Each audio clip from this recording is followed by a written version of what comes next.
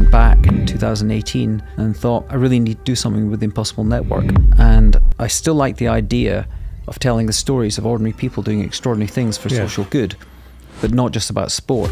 fundamentally believe that like, everyone you want to meet is like one connection away hmm. from making that intro to you and just a matter of how do you make your rounds how do you get there how do you mm-hmm. get that person to Through the decisions you take and the places you're prepared to push yourself to, it's about going down the road less traveled, encountering the people, the experiences, to the open up opportunities you would never otherwise have imagined. but there's so many nice struggle stories of how people found their way to the US got their way out made a company sold a company brought wealth back to their family their country whatever right? But you don't see as much of that and you don't notice all those stories had also this strong sense in the power of serendipity that it's not something that's necessarily just luck, it's something you engineer.